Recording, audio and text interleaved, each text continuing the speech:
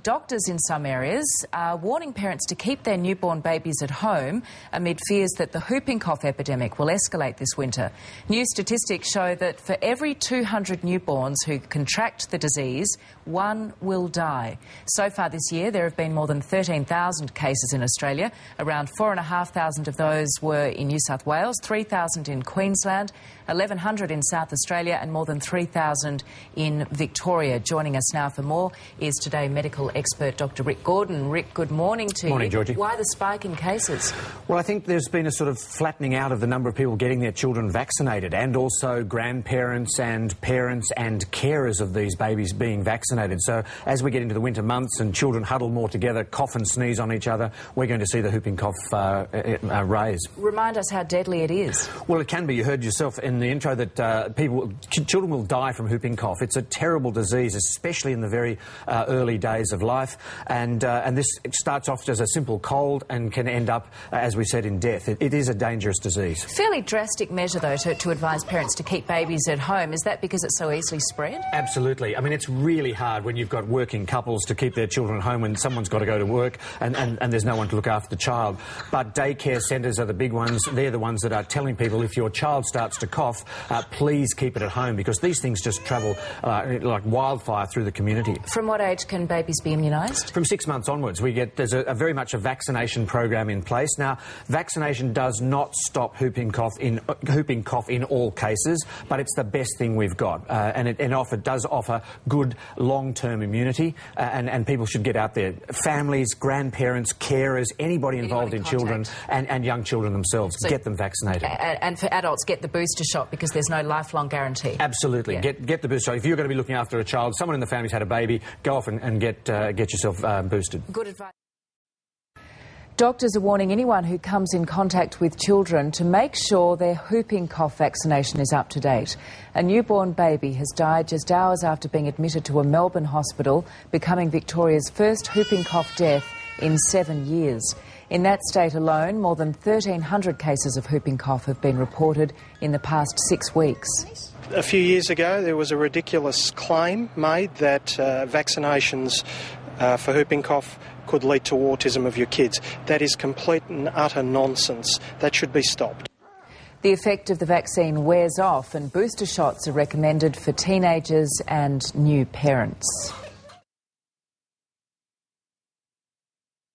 Well, Australia is currently in the midst of a whooping cough epidemic.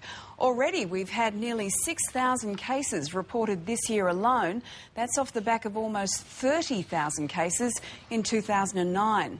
South Australia has the highest rate of infection, and the AMA's immunisation expert, Dr. Rod Pearce, is in Adelaide and he joins us now. Good morning to you, Dr. Pearce. Why the increase? Well, I guess we don't really know, but there's a few suggestions. But we had a big outbreak last year, and it seems to be continuing in South Australia again this year. So we're concerned that um, the vaccination is getting to everyone, and maybe there's. Uh, um, we know that uh, there isn't a free vaccine for parents and grandparents of young children, so it's of concern that um, maybe there's a group of unimmunised uh, South Australians that haven't yet had access to a vaccine preventable uh, uh, disease. And so that would explain why it's worse in Adelaide?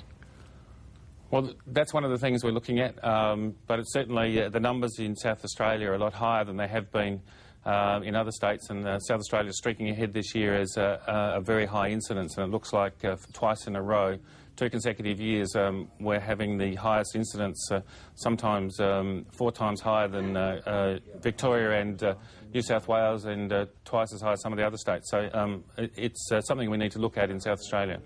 Much of a difference does the immunisation make, and who should get it?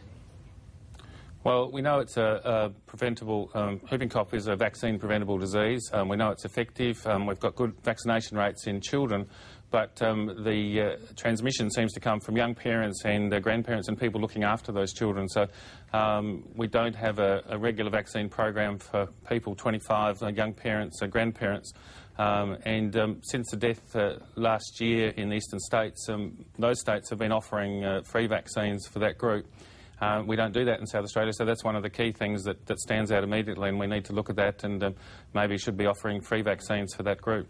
How does it spread?